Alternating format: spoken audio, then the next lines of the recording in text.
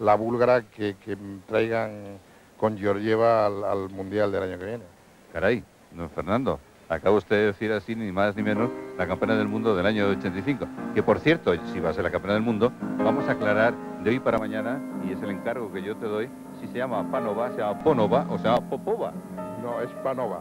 ¿Es Panova? Pues bueno, seguro, seguro. Seguro, eh, inicialmente nosotros teníamos Ponova y parece ser que es Panova el nombre concreto. Aquí estamos viendo a Silvia Justos, que está actuando también con pelota. Es eh, otra de las gimnastas vallisoletanas. Bueno, es que teníamos dudas porque Neikov, el búlgaro, nos decía que era Popova. Cuando tú nos dices que es Panova, pues yo, yo lo que quiero saber mañana exactamente cómo se llama.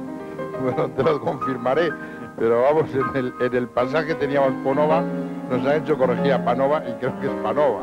Bueno, no, lo que sin duda es una gran gimnasta. Sí, bueno, es la anécdota, la anécdota que no tiene más importancia, sino simplemente, pues bueno, comentar, porque además me ha hecho gracia que tú has sido el que nos has dado esta noticia de la nueva campeona del mundo. Vamos a escuchar un poquito la música y luego seguimos hablando.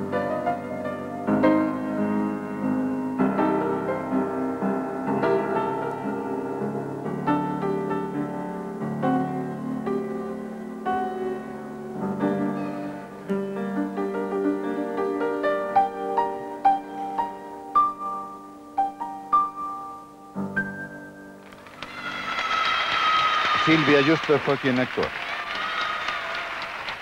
Tenéis ya montado, lógicamente, un comité un- de organización. Sí, hay un comité de organización eh, con, equi- con distintos equipos de trabajo y, y ya se está trabajando, vamos, ya la- los coordinadores de cada sección están trabajando en el tema. ¿Y Valladolid está respondiendo? Yo creo que sí, Valladolid, eh, la rítmica en Valladolid se vive intensamente y yo creo que está esperando Valladolid con gran expecta- expectación el Mundial del 85. Pienso que sí, porque estamos viendo esta mini olimpiada, digamos, aquí, ahora en Valladolid, todo está discurriendo con absoluta normalidad, perfectamente organizado, y Valladolid tiene capacidad absoluta y de sobra para organizar el Mundial. En definitiva es esto y algunos equipos más, tantos como cuarenta y tantos, claro. Sí, por supuesto, es bastante más que esto y bastante más en todos los conceptos, en, el concepto de participación y también, por supuesto, al haber más participantes, más calidad. Muchos éxitos, mucha suerte, Fernando,